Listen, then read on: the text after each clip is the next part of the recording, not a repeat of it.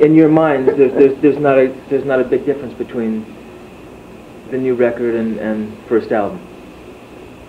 Now, I think that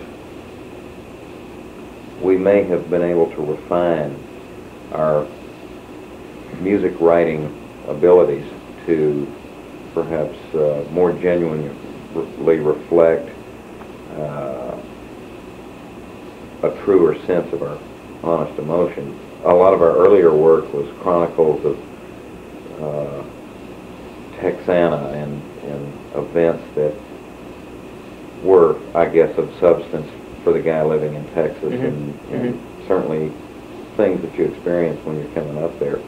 But our appeal has broadened so much because we've just gotten honest and started really singing about things that uh, were not so regional. Yeah, a lot, well, you know, that most people can uh, identify with or at least understand, you know, or they have the same feelings, you know, I mean, you could, you could be in Dallas or uh, Mhm. Wisconsin and you still go through certain things, you know, and Right. or uh, Vienna, probably, I don't know. Sure. You know, uh, where they make the sausage. Yeah. Yeah. But, um, So what you're saying is then, because the emotion is a little more honest, that has broadened the appeal. Don't you think the songs have gotten better? we've learned, we've learned how like to you said, express it I better mean, too, you- maybe, that, that's. that you were mentioning. Yeah, um, I know that that when uh, we first started, Dusty's playing uh, an A bass line against an E chord uh, would spark a certain thing because we were compelled to capture everything. You know, now we've relaxed to the point where uh, Dusty's A against an E chord is like, oh, so you want to do that? And it's actually making us play better. Hmm. Hmm. We're, of course, we're in it for the music. That's the bottom line here. Is it still the music? I mean, I know it is, but I mean, it's it's gotten Yeah. so big. Yeah. Well, for But, but, see, the point is that once we, once we play it, there's still just three of us up there playing it. However many people are listening to it, it changes. I suppose I'm talking But about you know, I mean- more the records. I guess I'm talking about them. Right? Yeah. Well, the, the, the records, uh, I think if anything, we've become a little bit more relaxed, or, or li- maybe not more relaxed, but more uh, comfortable in the studio where we, it's not quite so intimidating. To you you, know? To me personally, yeah. Uh, the first records were a little intimidating. No, the very first one wasn't at all. We were in there just a few months, and I was just okay, you know. But then, uh, then it, you know, the studio and dealing with the studio, something that I, I w- was not uh, familiar with, you know. E- every time, every trip to the studio, it helped out, you Mhm. know. I think it helped solve, but it helped me a lot, you know. Billy always seemed to deal with it better than me, but. Uh, and the better off you are, I think the better stuff you come out with.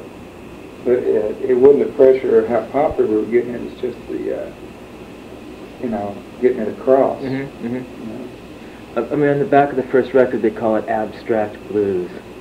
Is it still abstract blues, Billy? oh boy. yeah, I remember reading that. We didn't see the record until it was in the store. yeah. Oh, So we didn't know. You know, we Yeah. thought, hey, all right, we're abstract blues. Oh man. I think that was Ham that wrote that. It wasn't me. Yeah, it wasn't me. Um, well, if you want to talk about ZZ and you want to talk about blues, I would imagine that there are enough people that could point to a certain lick from uh, any one of our records and say, hey, that's blues. But you couldn't say it's blues in the, in the purest form. So I guess it, maybe it would be abstract. It'd be Yeah. blues in the ZZ form. Well, you know, what is the purest form? You know, it depends on if people listen to uh, to the real old blues guys, or if they listen to. Uh, Chicago 50s. yeah, you know, I mean, uh, you know, it depends on who's saying it. Right. how abstract, it, how blues it is. Could could you talk a bit about those differences? Can you talk a bit about the difference between Chicago blues and Texas blues, and even Georgia blues. You know, Skynyrd and, and 38 Special is different than what you guys do. I mean, where?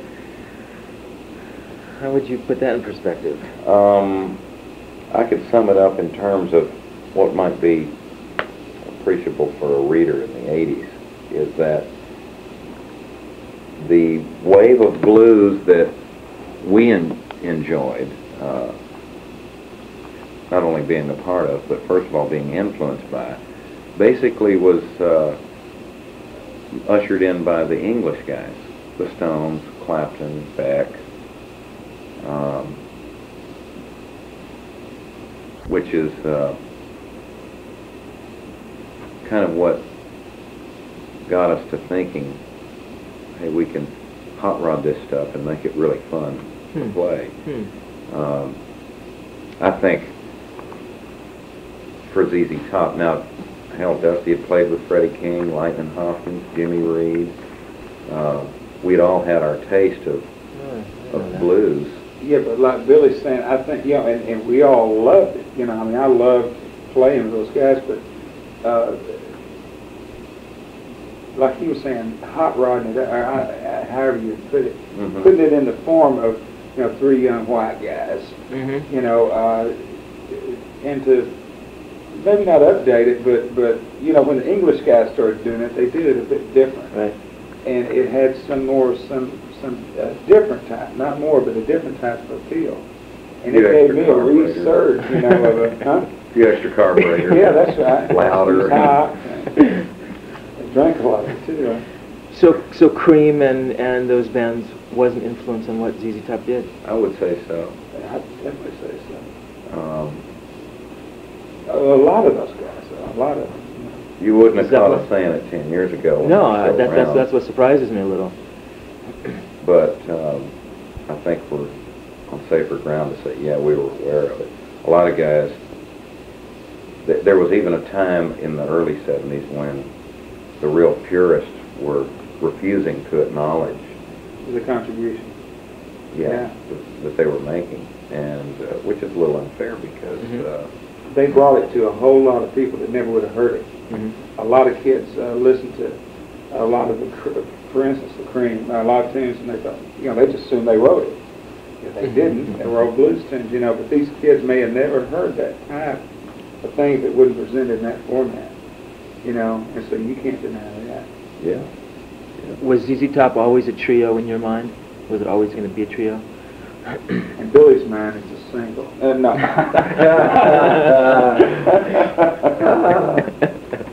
no, no, no, no. That, well, we uh, only entertained a keyboard player one time. Really? Lasted for about three tunes. and then it was like, oh, In the garage. In the garage. The early days. What was his Well, name? well, well, we, how long have we been playing together now? 16 years? Yeah. No, no, at that time. Oh, six months. But it was long enough to where we were already real comfortable, you know, just taking off on something. Uh, And, and, and, you know, bless his heart, I, I think it probably would have happened to anybody, but he just didn't mesh. Right. You know, and it was kind of like, well, look, you, just, just drop out, man, if you Yeah. can. Yeah, You yeah. know? Lay out on this one. I laid out on the last three. Well, lay out on this one too. what was his name, Billy? Remember? I can't even remember. the I mean, I do not remember, you know, We owe but it to him here. I know it. I, I, I really don't remember his name. Yeah, it's funny talking about that Van Halen comparison again. Same exact thing happened. no yeah, kidding? for sure. They had a keyboard player for quite a while. Well, I mean, obviously way before they were signed, but there were several incarnations of Edward and Alex and keyboard players coming in and out. Whoa. And Ed's style just developed where it just know it just got in the way. Yeah. We found it fun to work as a trio because it does make you work harder. And, you know, uh, there's hardly a feeling as, as gratifying as to really bashing on the instrument. and to get it to work right, to fill up the holes that are presented with the uh, format of trio, you just go, man, let me tear this thing up. And it really gets to be fun. Did it come from uh, touring with Hendrix? Well, the Sidewalks was four-piece with a keyboard player. But Or the, seeing the what he- realization, Yeah. seeing what he was able to do with it, Yeah. was great. The sidewalks functioned as a trio shortly thereafter because uh, the keyboard player was drafted. And that's what that go off does, too. arm. I mean, not the draft, but, you know, American Blues was four-piece, occasionally five-piece. Then it was really remainder until it broke up was three-piece. That's right. That's right. I I American about Blues that. is the band that you and uh, Frank were in? Yeah. And thought about that. Wasn't the picture taken at the uh, Dallas Music Hall uh, trio? Yeah, with with the jacket? trio then, yeah, with, Yeah. the amoeba on the back. Yeah. That was with the, the animals? I think y'all playing with the animals. Yeah, something. The Animals? Yeah. The English Animals? Yeah. Really? Well, we- on the same show with, Yeah. yeah, Huh. Eric Burdon. So then the first tunes you were writing were trio kind of format tunes then? From the time we got together, it was uh, on Frank's suggestion that we invite Dusty to participate in a matinee of bass players. And I don't know if any one of them had more than 15 minutes worth of statements to be made. And then when Dusty uh, strapped up, it was three hours on a shuffle. really? Yeah, it was, it was a long shuffle. So there was no kind of But see, denying the it, right? the- Yeah. Yeah, the thing is though, you know, that Frank and I had played together for a few years and, uh, playing behind another guitar player, uh, who would jam, you know what I mean, not an arranged thing.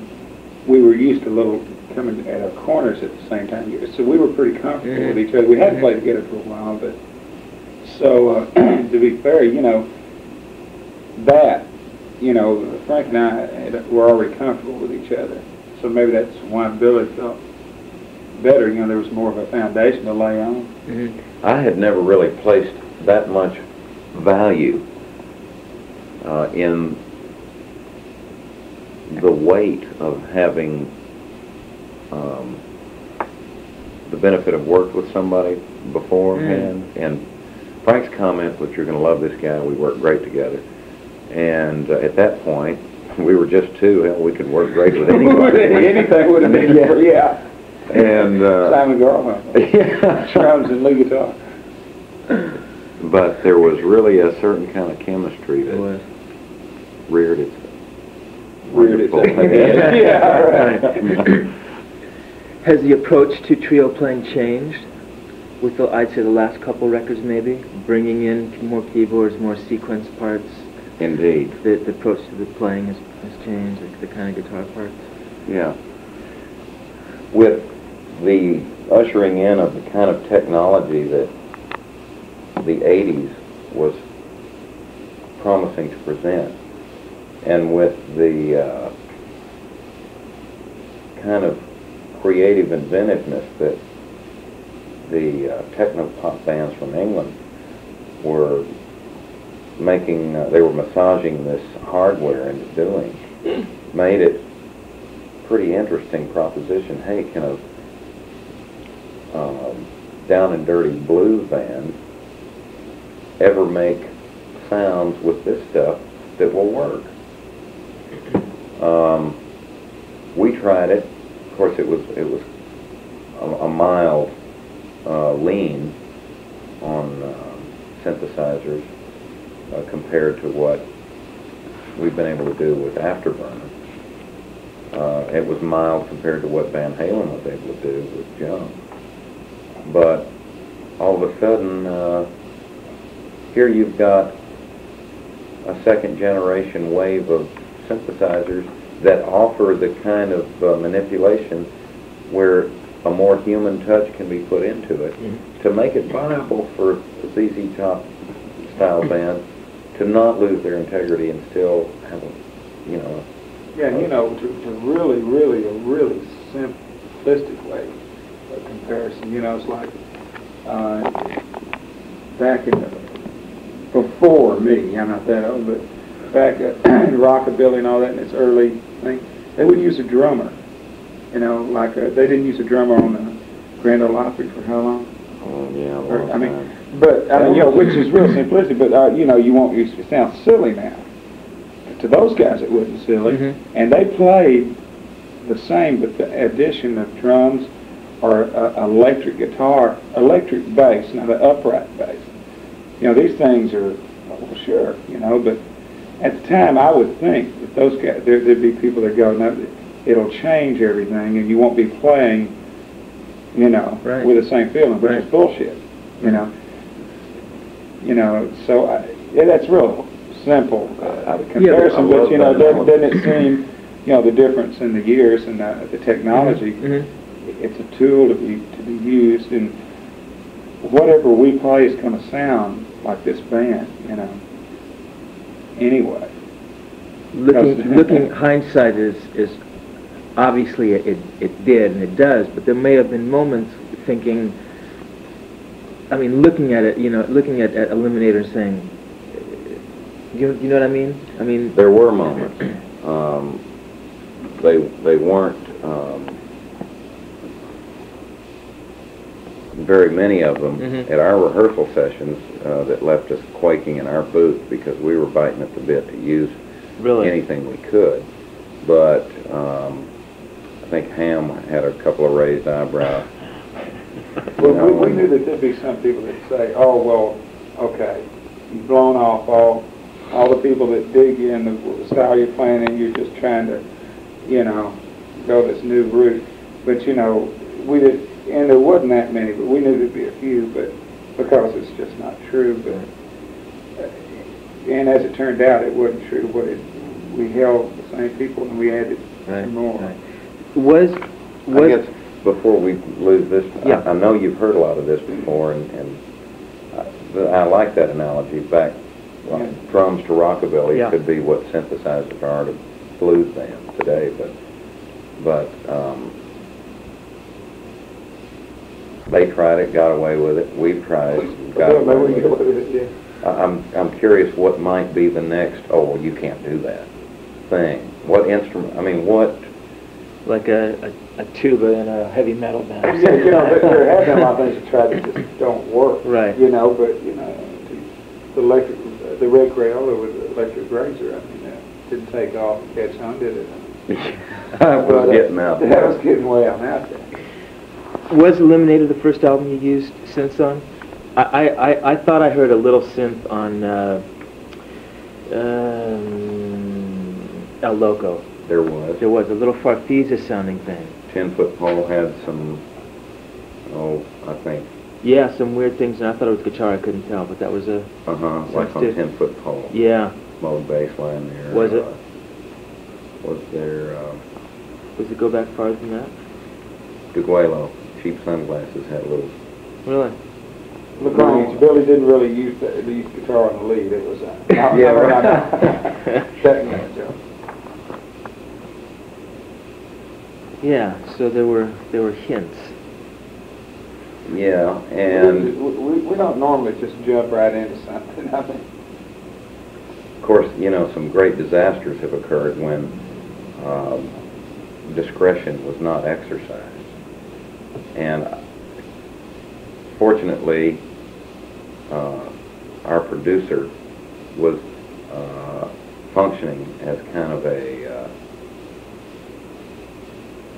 mm, of an objective viewer who wasn't caught up with, hey, look what I can do. I finally made this machine work. Right.